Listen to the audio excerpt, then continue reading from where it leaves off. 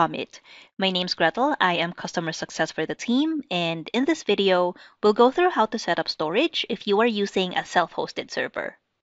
Specifically, today, we will identify which cloud storage you can configure with Comet, find where to configure cloud storage in the client software and in a self-hosted server, and we will demo configuring an S3 compatible storage in the Comet server. So, which cloud storage providers are compatible with Comet? You can pretty much configure any S3 compatible cloud storage with Comet. There are some popular storage providers that we've made readily available in the storage location options, as you can see here, so you'd have an easy time configuring them. For more information on all the cloud storage locations that you can configure with Comet, please check out our storage configuration guide, which I've linked below.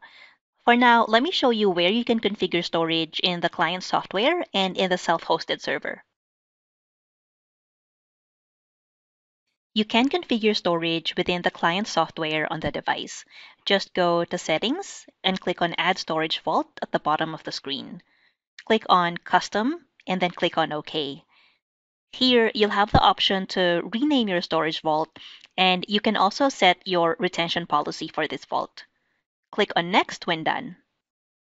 In the next window, click on the plus sign beside Choose a storage location, and you'll be presented with the storage options. Once configured, you can direct backups to this storage location. Setting up a storage location here sends your backed up data directly to the cloud. You also have the option to set up storage locations from the Comet server instead of from the client software, which we'll go through next. In the self-hosted server, there are several places where you can configure storage. In the user page, or in the authentication role, or storage role, which are both under settings. First, let's configure storage in the user page.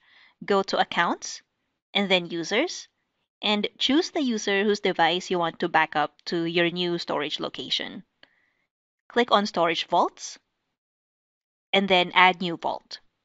Choose Custom as we did earlier in the client software. You'll be able to rename and set retention policies for this vault. Follow the prompts until you get to Choose a storage location, and then click on the plus sign here. Choose the storage location that you want to configure, and click on Save. Then plug in the values that are required to complete the configuration. You can also configure storage in the storage role and the authentication role. Let's have a look at configuring storage in the storage role next. Go to Settings and click on the Storage Role tab. Click on the plus sign and choose the storage location that you'd like to configure, then click on Save. Plug in the values that you need to complete your configuration and click on Save Changes. Click on Enable Storage Role to turn it on. Take note that this sends data to the Comet server and then to the cloud or local storage.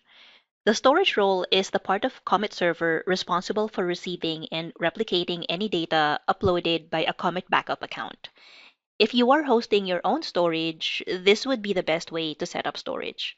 However, if you are likely to encounter bandwidth issues, sending user data directly from the end user to the cloud service might be a better option for you.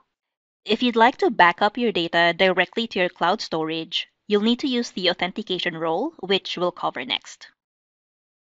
Again, go to Settings and then navigate to the Authentication Role tab.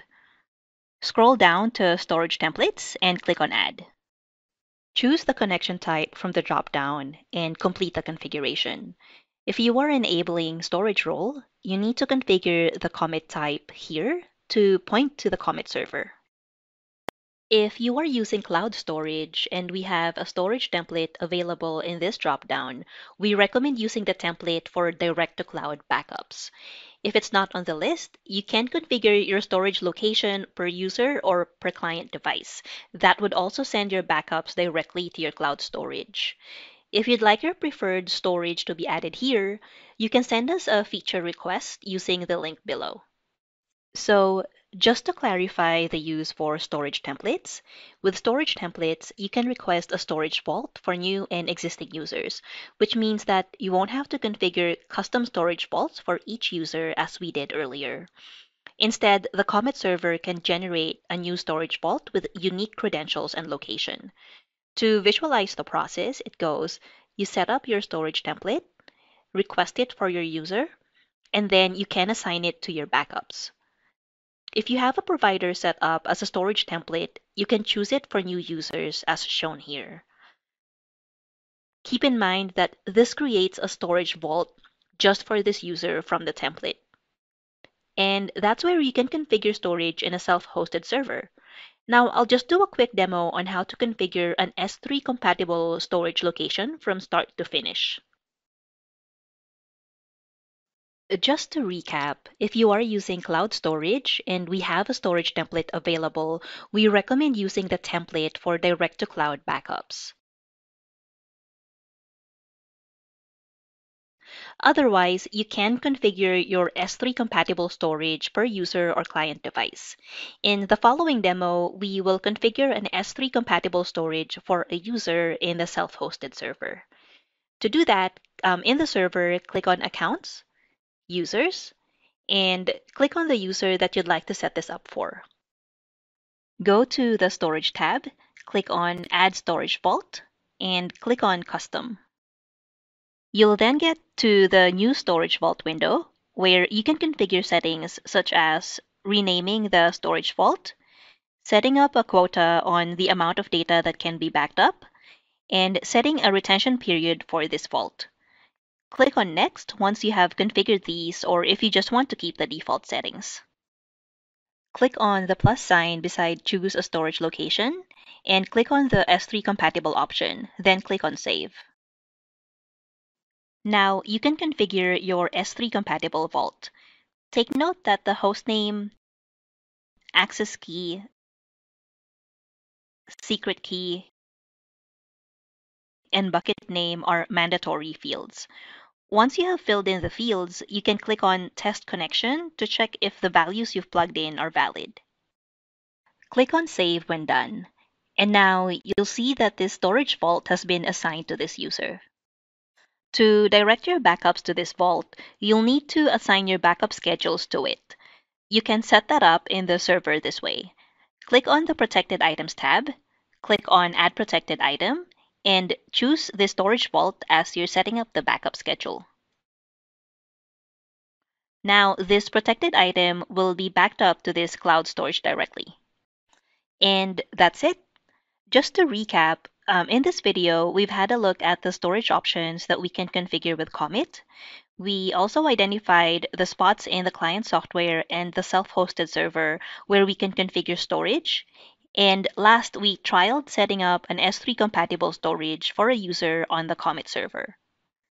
Thank you for watching. Please check out the links below to access our storage configuration guide, where you'll find more details on setting up storage with Comet.